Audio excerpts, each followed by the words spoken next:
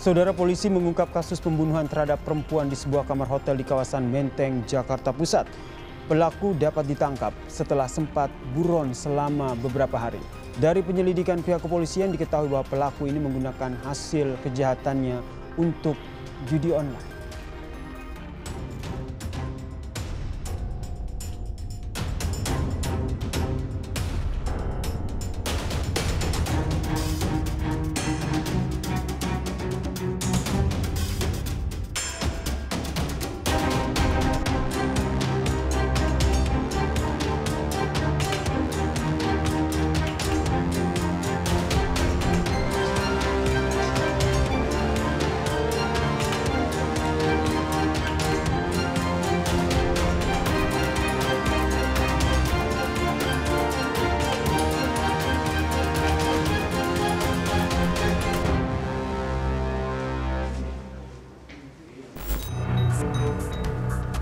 Polisi mengungkap kasus pembunuhan seorang perempuan yang ditemukan di sebuah kamar hotel kawasan Menteng, Jakarta Pusat. Pelaku ditangkap di wilayah Jakarta Timur usai bersembunyi selama beberapa hari. Guna dilakukan pemeriksaan, pelaku lantas digelandang ke kantor polisi. Berdasarkan barang bukti, diketahui motif pelaku ingin menguasai harta korban. Hasil curi yang digunakan pelaku untuk berjudi online. Untuk kesembunyian saya baru pertama kali dan untuk penjamretan itu saya terinspirasi dari jalan motor terus pas korban lagi handphone saya jamret. Setelah itu uangnya saya buat main itu untuk bayar uang sama kebutuhan. Nah setelah beberapa bulan saya coba main micet dengan motif yang rencana ingin mengambil barang korban tapi tidak sepakatan sampai tiga tiga orang ini sesuai kesepakatan yang membayar di kamar. Dan setelah itu kesepakatannya masih seribu rupiah.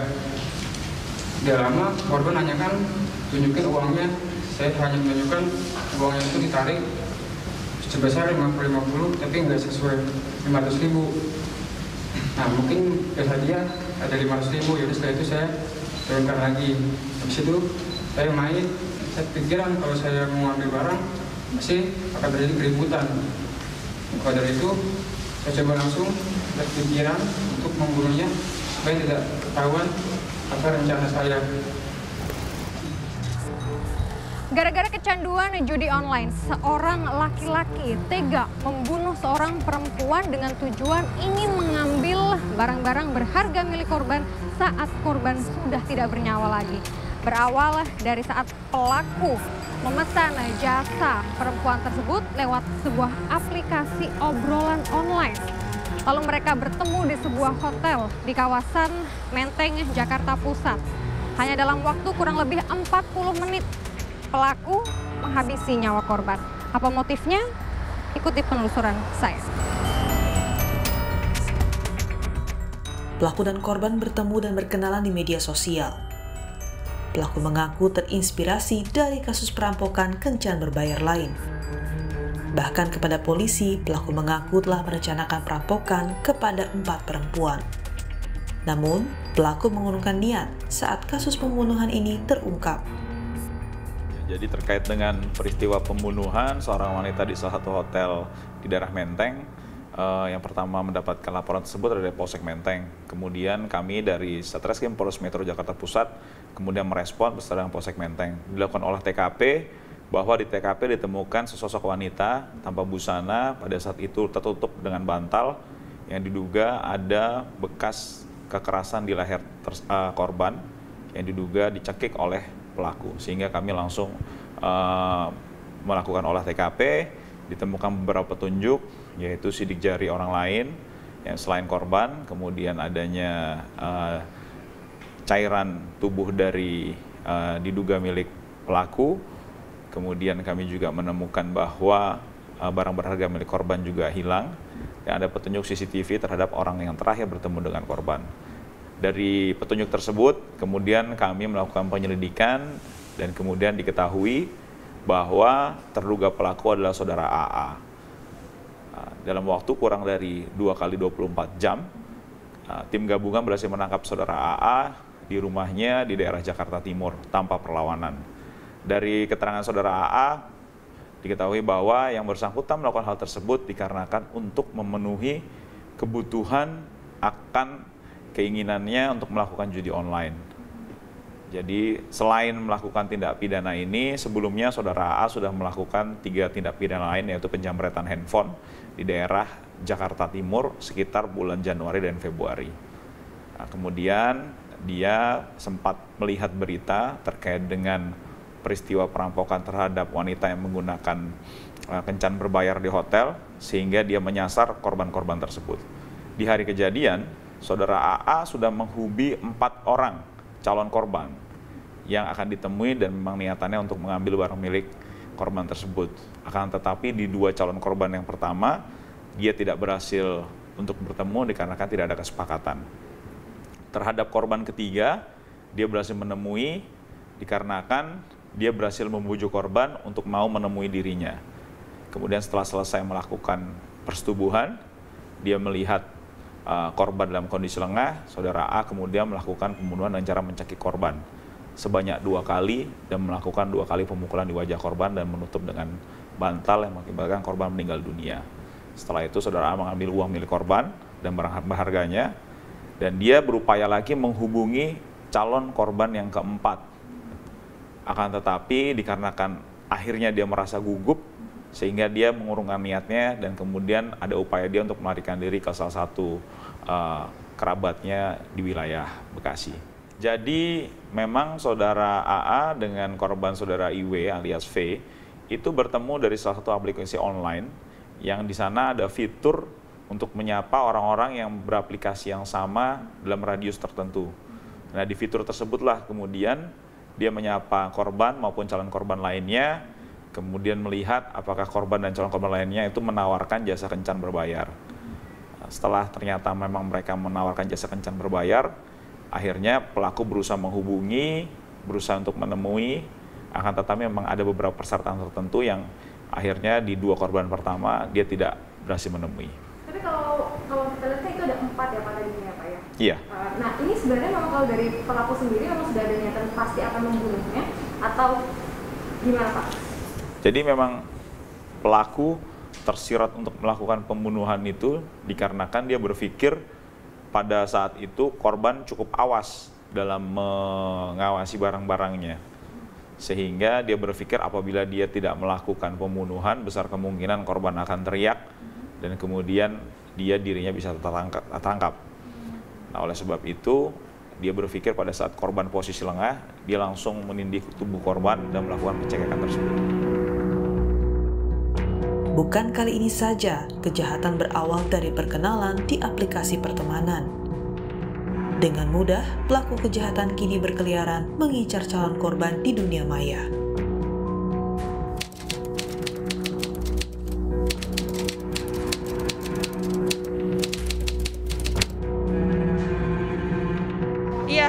Khawatir karena saya juga pengguna chat online. Uh, sebenarnya teknologinya nggak nggak nggak layak untuk dikhawatirkan ya karena itu semuanya balik ke orangnya digunakan untuk apa jadi semuanya tuh harus lebih sekarang sih lebih ke hati-hati aja sih ya. Iya saya khawatir uh, lebih baik uh, menghindari dan hati-hati ya jangan terlalu percaya terhadap uh, chat online lah kayak gitu.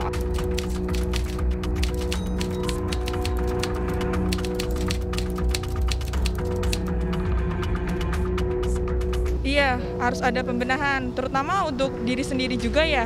Uh, harus lebih berhati-hati lagi kalau untuk mencet. Misalkan kita nggak kenal dia gitu ya, mendingan nggak usah dibales aja gitu ya kan. Oh ya, harus jauh lebih bijak, harus benar-benar tahu kita ngobrolnya sama siapa gitu. Nggak bisa sembarangan sebelum, apalagi untuk langsung ketemu gitu kan.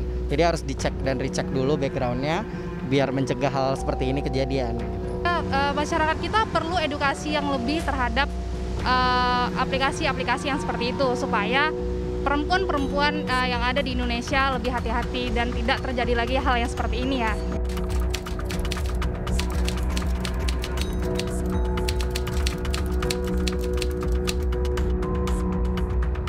Terus uh, untuk pemerintah juga mending uh, kayak apa namanya aplikasi-aplikasi yang gak jelas gitu mending ditutup aja gitu. Sebenarnya semuanya pasti punya peran ya pemerintah sebagai regulator dan kita sebagai user juga kan yang biar lebih bijak aja dalam menggunakannya dan harus hati-hati dengan siapa pun kita berbicara gitu kan. Termasuk pemerintah ya karena uh, kalau tidak adanya edukasi dari pemerintah pun masyarakat tidak akan membenahi itu gitu ya dan butuhnya uh, ini dukungan oleh keluarga dan lingkungan sekitar ya begitu. Pelaku kejahatan menjadikan media sosial sebagai wadah untuk mencari calon korban. Kriminolog menilai masyarakat kini harus peka siapa target komunikasi di media sosial. Nah sebenarnya kalau misalkan dari kriminolog sendiri, kajiannya bagaimana sih Bu memandang modus ini gitu?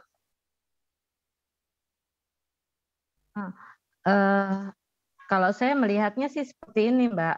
Hmm. Jadi uh, sebetulnya teknologi uh, itu memudahkan ya. Hmm. Uh, artinya teknologi informasi kita ini memudahkan kita untuk berkomunikasi hmm. pada uh, tidak pada lintas batas negara maupun juga kita tidak melihat kepada konteks waktu gitu. Hmm. Tapi kadang-kadang penggunaan teknologi ini juga membuat uh, kita menjadi kurang peka, yeah. gitu kan, kepada siapa kita berbicara, kepada kemudian lawan diskusinya kita itu atau lawan kita berbicara itu siapa. Mm -hmm.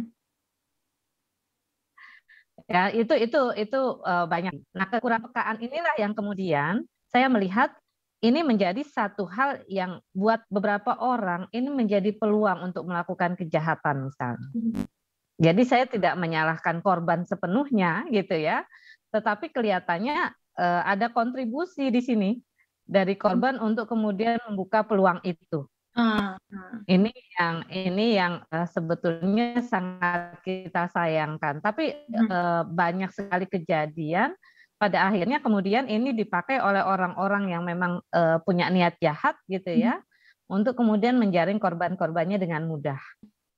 Bu, kalau ini juga kan kasus ini karena ingin uh, memenuhi hasrat bermain judi gitu, Bu. Jadi memang hmm. mungkin karena ada desakan di situ juga ya, Bu ya. Sehingga tega untuk melakukan itu dan dia mengatakan bahwa dia terinspirasi dari orang-orang yang dapat Eh, benda-benda uh, berharga dari orang-orang yang menggunakan jasa wanita itu gitu sebenarnya Bu. Katanya gitu. Ya, bisa jadi ya. Jadi uh, banyak faktor sih di sini ya kalau kita lihat dari uh, konteks pelaku. Mm-hmm. Jadi bisa jadi karena uh, motif utama adalah secepat mungkin mendapatkan uang mm-hmm. dengan cara yang mudah gitu mm-hmm. ya dan uh, informasi yang dia dapat itu juga menjadi salah satu faktor yang memutuskan menggunakan cara itu mm-hmm. gitu dan uh, misalnya informasi dari teman-teman bahwa itu mudah dan mudah juga mendapatkan apa yang dia inginkan mm-hmm. uh, kalau buat saya sih itu menjadi masukan tapi motif jadi motivasi utama kalau kita lihat mm-hmm. bukan hanya sekedar faktor ekonomi tapi lebih kepada kegilaan dia gitu ya terhadap yeah. judi itu yang mendorong mm-hmm. dia untuk kemudian melakukan pencurian termasuk pada akhirnya pembunuhan.